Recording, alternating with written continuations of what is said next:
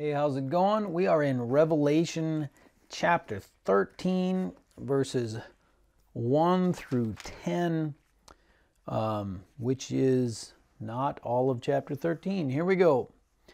And the dragon stood on the shore of the sea, and I saw a beast coming out of the sea. He had ten horns and seven heads, with ten crowns on his horns, and on each head a blasphemous name.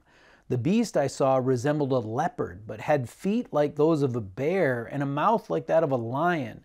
The dragon gave the beast his power and his throne and great authority.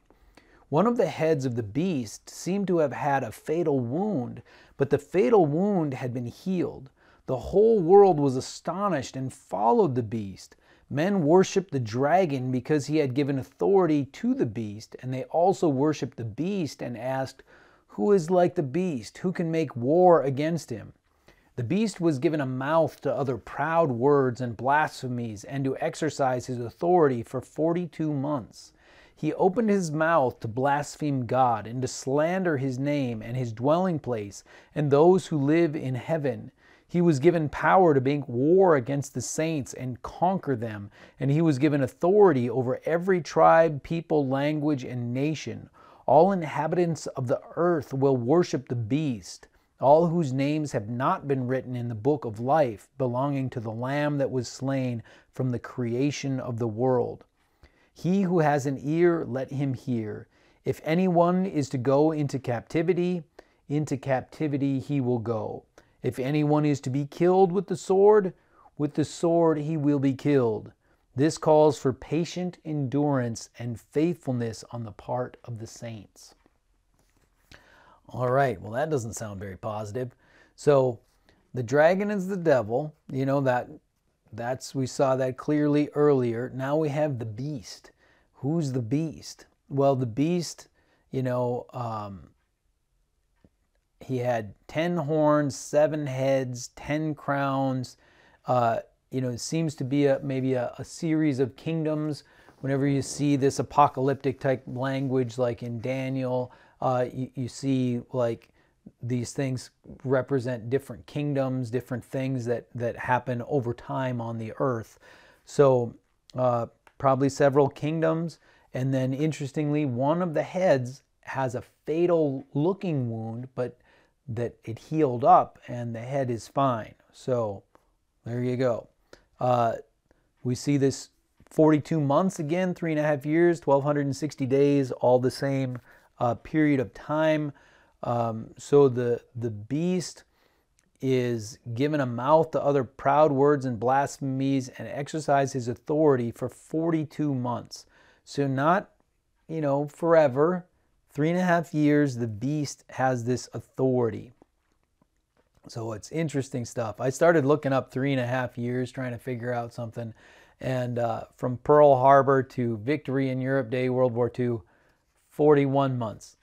Now, I do think that when it says 42 months, don't be looking at history and finding things that are close or, you know, it, it, you want to have things line up completely you know otherwise you get into all this stuff where you're probably wrong and even stuff that might line up completely could very well be wrong too and not what this represents. Um, now verses 8 through 10 we see that the worshipers of jesus will not worship the beast. So verse 8 all the inhabitants of the earth will worship the beast. All whose names have not been written in the book of life belonging to the lamb that was slain from the creation of the world so there are those who belong to the Lamb. They're not going to worship the beast. Um, and then, it, you know, it's a little harsh here. He who has an ear, let him hear. If anyone is to go into captivity, into captivity he will go. If anyone is to be killed by the sword, with the sword he will be killed. So it's it's basically saying here, there's not a lot of potential for escape. This is going to be a very, very bad time. You know, is this representative of the Great Tribulation? I don't know, but it's it's it's looking bad for those who uh, are unwilling to worship the beast. And it says it finishes the section we read finishes with this calls for patient endurance and faithfulness on the part of the saints.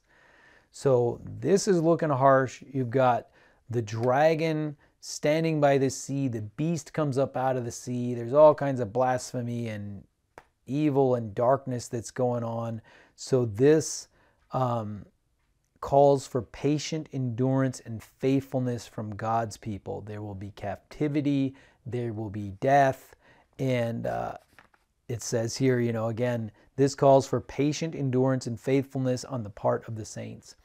And I think we could use some uh, faithful endurance and patience, patient endurance and faithfulness uh, right now.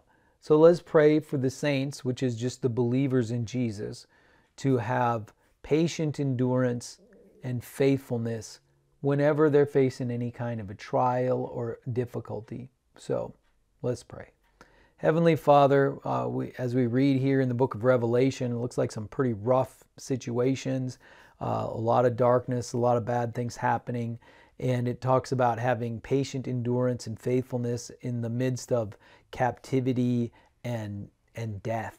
And so, Lord, help us in our lives to have patient endurance and faithfulness, especially if we're not suffering in these ways of being taken captive, imprisoned, uh, being killed, if we're not in the middle of those sorts of things, Lord, how much easier is it for us to have patient endurance and faithfulness? So let us have patient endurance and faithfulness. Build that in our hearts. Uh, we seek this and we ask for your guidance in it. I pray this in Jesus' name. Amen.